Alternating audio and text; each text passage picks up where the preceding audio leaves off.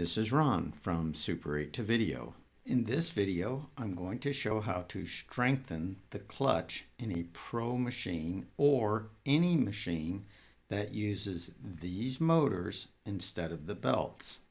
This motor is the motor that I would highly suspect is your problem as opposed to the clutch, so double check.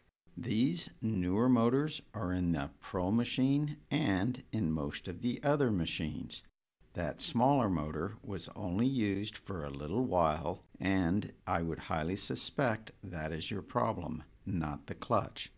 This video is meant as a companion video because I showed how to adjust the clutch in an older belt-driven machine. In these newer machines, there is very little adjustment that can be done, but there is a little bit, and we can only adjust it with one washer instead of two washers like we did in the belt-driven machines. So if your machine is giving you this trouble, double check that it is a clutch because these newer clutches I have a lot of faith in. I will be showing this adjustment on a pro machine, but all the other motor driven machines are exactly the same except the back cover has seven screws instead of six screws like on the pro machine. Also, if you take your back off and you see a belt, I have left a link below on how to adjust it on the belt driven machines. Before you take your clutch apart, make sure it actually is a clutch problem because I have a lot of faith in the newer machines' clutches. Double check that this little slit here isn't doing something like you got a reel like this and this side is supposed to grab that but the film got ran in to where you're putting it on like this and it's not really engaging in that until you push it all the way in which can be hard to do on these reels, and that it's not something really simple like that that is actually the problem and not the clutch itself. Place the machine face down and remove these six screws. One, two, three, four, five, six. I suggest using a magnetic screwdriver because it makes it easy to pull it out of those holes. Then remove the back cover. There are going to be six more screws we're going to remove. I've already loosened them because you don't need to see me unscrew a bunch of screws, but there's one, two, three, four, five, six. Once those screws are removed, just move this out of the way you don't have to disconnect any wires whatsoever. You don't have to worry about how these gears lined up. Then pull this clutch out. This C-clip's going to have to be removed and one right back here that has to be removed. What I use to do that is a push pin. When you go to remove these little clips, do it in a bucket. I'm doing it out of a bucket to show you how it is done, but the C-clip is very easy to lose. Take your pen. There's a little gap right up under here. I got lucky. I see that thing because it's on a piece of white paper. Then this just pulls off. It's a little bit hard, but this gear pulls off.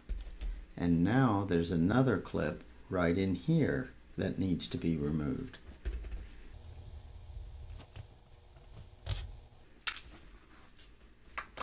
Once that's done, this just comes out. There's another C-clip here, but we don't need to remove that one from this point, we're going to put one washer, which is going to go here. This is going to go on top.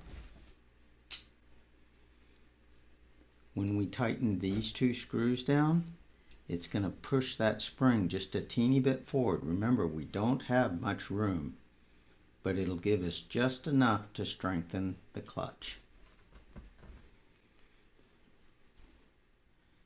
You don't want to lose these C-clips. They are unique to this product and would be hard to replace. Make sure both when you're taking them off and putting them back on that you do it in a bucket so that when you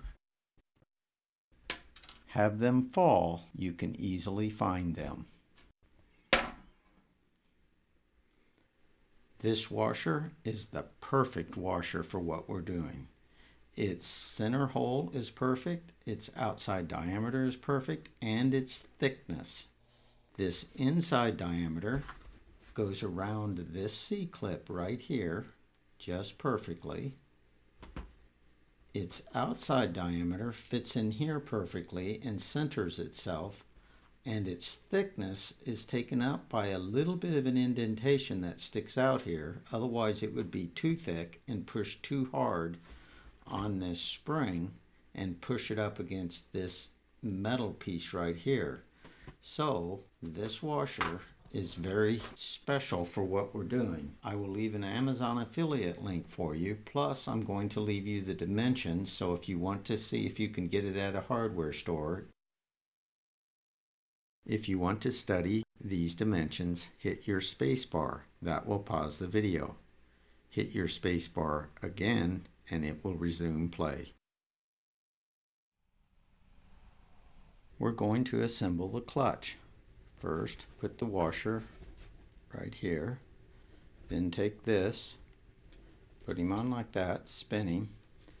There's going to be a gap here as we push with our finger here that allows this C-clip to fit in there. To pick them up, I find it best to wet your finger once you get him on there loosely, I find I can just take my finger and push on it really hard and it slips in for this first one. This shaft has a flat spot and this has a flat spot in it that matches up and this little piece that sticks out here goes in like this. It's a little bit hard to push him on but push him on till he hits back there Notice when I put this gear on, there's a gap between where the C-clip goes and that gear. We want to take up that gap to help us align that C-clip properly. Then take your wet finger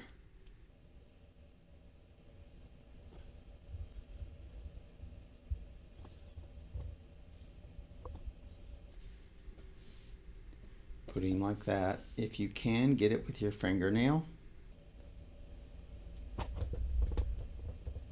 If you can't, do it with the screwdriver.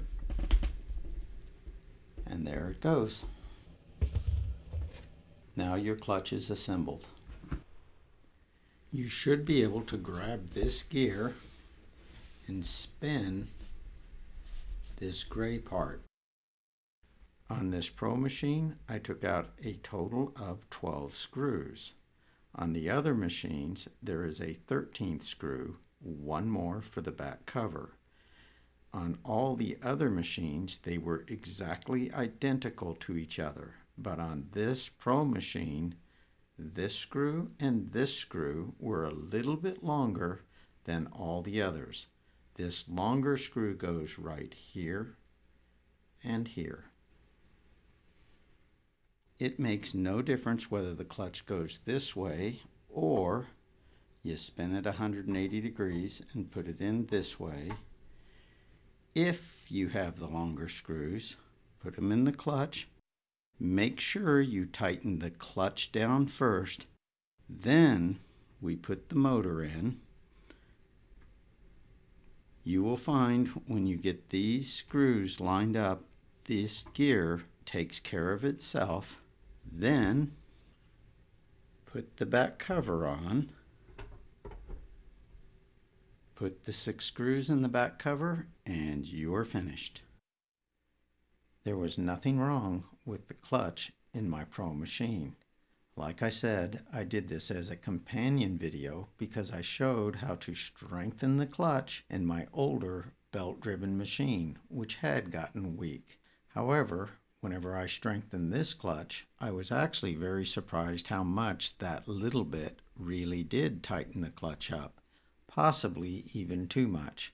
I have continued to use it with the stiffer clutch and haven't had any problems. You know the saying, if it ain't broke, don't fix it.